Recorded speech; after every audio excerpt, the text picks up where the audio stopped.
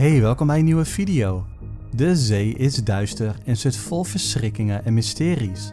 Wetenschappers zijn van mening dat we nog maar nauwelijks iets weten over de diepste en donkerste geheimen van onze oceanen. Er is slechts een klein percentage in kaart gebracht, dus je kunt je van alles verbeelden wat zich nog in het water schuilhoudt.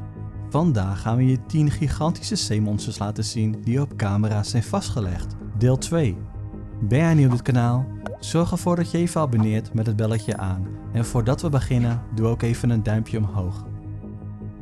Nummer 10. Je hebt misschien wel eens gehoord van het beruchte monster van Loch Ness uit Schotland, maar wist je dat Turkije zijn eigen zeemonster herbergt? Lake Van is het grootste meer van het land, gelegen ten zuiden van de berg Ararat in Oost-Turkije en het trekt al eeuwen de aandacht. Oude beschavingen vestigden zich er en noemden het water de bovenzee. Zij geloofden dat het een groot aantal mysterieuze zaken bevatte, maar jaren later zijn er nog steeds mysteries. Waarnemingen van het zeemonster in Lake Van vonden verschillende keren plaats tussen 1995 en 1997, maar de rapporten gaan terug tot 1889. Moderne videobeelden tonen een onbekend en ongelooflijk groot wezen dat zich in het water beweegt. Vele mensen zeiden onmiddellijk dat het duidelijke kenmerken deelt met het monster van Loch Ness. Sommigen beweren dat het misschien een reusinkvis zou kunnen zijn of dat het een oud zeereptiel zoals een plesiosaurus is. Nummer 9 Het is één ding om in een bootje te zitten met het eindeloze water dat zich voor je uitstrekt, maar in deze volgende video wist iemand een enorm snel zeedier op camera vast te leggen. Het zeedier zou gezien zijn bij de Pertamina Pier in het Aziatische land Oost-Timor. De video was gemaakt met een mobiele telefoon, maar we zien overduidelijk iets met een grote snelheid door het water bewegen. Andere mensen die genoten van een mooie dag hadden ook gemeld dat ze iets snels hun boot voorbij zagen zwemmen. Ze vertelden dat ze geen vis zagen, waardoor de mogelijkheid werd uitgesloten dat het om een dolfijn of walvis zou gaan. Wat zou zich met deze snelheid door het water kunnen verplaatsen? Wat denk jij? Nummer 8 het is verbijsterend hoe weinig we weten over onze oceanen en van tijd tot tijd worden er zeewezens op camera vastgelegd die we nog niet eerder hebben gezien. Een man was s'nachts met zijn familie aan het wandelen over een brug toen hij een groot zeemonster op camera vastlegde. Alhoewel het erg donker is, kunnen we duidelijk zien dat er iets groots voorbij zwemt in de rivier. Het zeewezen ziet er slangachtig uit van uiterlijk en lijkt rustig voorbij te zwemmen. Tot op de dag van vandaag is het onduidelijk wat voor zeewezen dit geweest had kunnen zijn. Maar we raden je aan om s'nachts beter niet in deze rivier te gaan zwemmen. Wat denk jij wat dit voor zeemonster is? Laat het me weten in de reacties. Nummer 7 Deze volgende video is vrij recent en wordt gezien als een van de beste bewijzen van het bestaan van Nessie. Verrassend genoeg was de persoon die deze videobeelden maakte helemaal niet van plan om een prehistorisch monster op camera vast te leggen, maar hij was bezig de kano's op de oever en de omgeving te filmen. Zijn drone filmde per ongeluk een zeewezen dat op het Loch Ness monster leek. Het zeewezen komt griezelig dicht bij de oever aan de oppervlakte. Je kunt het zien bewegen en sommigen zeggen zelfs dat het nieuwsgierig was naar de kano's. We kunnen duidelijk zien dat er een gigantisch zeewezen zich onder het diepblauwe water beweegt en een opvallend uiterlijk heeft.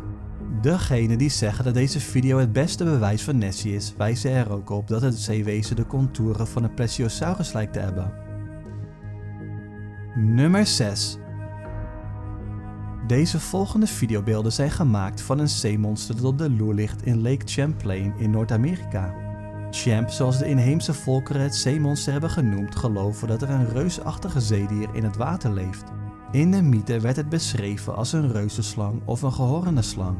Het aantal mensen dat Champ met eigen ogen heeft gezien is verrassend groot. Er waren dan ook een paar sceptische vissers die geloven dat de videobeelden zijn bewerkt. Een visser genaamd Peter Baudet zei dat het zeedier net zo groot als zijn dij was. Hij voegt er ook aan toe dat hij 100% zeker is van wat hij zag, maar dat hij niet 100% zeker wist wat hij precies zag. Sommige experts denken echter dat Champ een garfish is, een soort steur. Nummer 5 In deze video zien we een vrouw die met haar hondje bij de pier staat waarna een grote zeeslang opeens haar hond grijpt moet je je voorstellen dat je op deze manier je schattige hondje verliest. De twee lijken te poseren voor een foto terwijl het zeemonster uit het water oprijst. Sommige mensen in de reacties twijfelen aan de echtheid van deze video. maar er gaan vele oude verhalen rond over mythische zeeslangen. Of deze vandaag de dag echter nog in leven zijn, blijft een vraagteken. Laten we maar hopen dat deze video niet echt is en dat het met de computer is geanimeerd. Nummer 4 Canada is de thuisbasis van een nog groter zeedier dan het legendarische monster van Loch Ness, namelijk de Ogopogo. Ogopogo is een slangachtige zeewezen dat rondzwerft in het Okanaga Lake in British Columbia, Canada. Het zeemonster zou volgens vele verhalen en meldingen meerdere bulten hebben met soms een groene of zwarte huid en het hoofd van een paard, slang, schaap of krokodil. Ogopogo is geen moderne stadslegende. Inheemse groepen waarschuwden de Europese kolonisten voor hem toen ze aankwamen. Volgens de legende verblijft het zeemonster midden in het meer in een grot. Er is over de jaren heen veel gediscussieerd over wat voor zeedier het precies is geweest. Sommigen geloven dat het een primitieve walvis is, terwijl anderen zeggen dat het gewoon een golf is geweest van een boot. Hoe dan ook, in de jaren 80 zou er zelfs een prijs van een miljoen dollar zijn uitgeloofd voor het bewijs van zijn bestaan. Maar niemand heeft tot op de dag van vandaag echter kunnen verklaren wat we hier in het water zagen voortbewegen. Nummer 3 Je wordt er wel eens aan herinnerd hoe vreemd de zee is en hoeveel wonderen zij herbergt. Er is een algemene vuistregel als het gaat om zeedieren en de diepe oceaan. Hoe dieper je gaat, hoe groter en vreemder de dingen worden. Zo nu en dan komt er een zeewezen naar boven en raken we geschokt van de manier waarop ze eruit zien. In deze volgende video kwamen twee jongens een vreemd zeewezen tegen die onder de wateroppervlakte dreef. De eerste theorie is dat het een kwal is of een pijlstaartrog, maar de vraag die meteen werd gesteld is of deze wel zo groot kunnen worden. Recentelijk ving een visser uit Cambodja nog een gigantische zoetwaterpijlstaartrog van ongeveer 4 meter lang. Het zeemonster in deze video ziet er echter een stuk groter uit. Nummer 2 Het gebeurt niet elke dag dat je een gigantische zeeslang tegenkomt met drie koppen. Maar dat is precies wat een visser op camera wist vast te leggen toen hij op het strand aan het relaxen was. De man zou zijn boot aan de kant hebben gezet en zag in de verte opeens een meerkoppige slangachtig monster. Dit zeemonster wordt in de Griekse mythologie ook wel een hydra genoemd.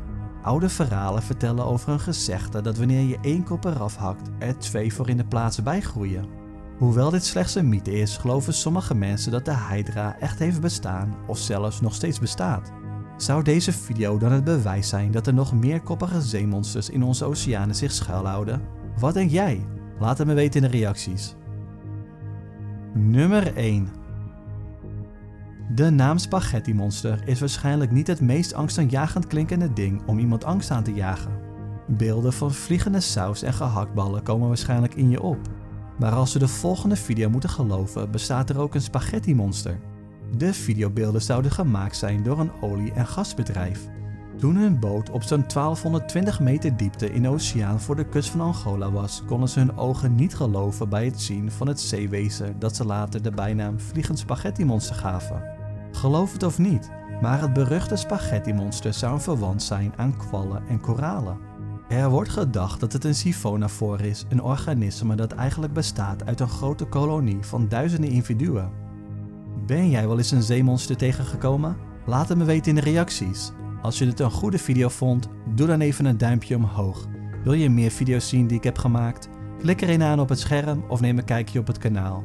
Bedankt voor het kijken en tot de volgende keer.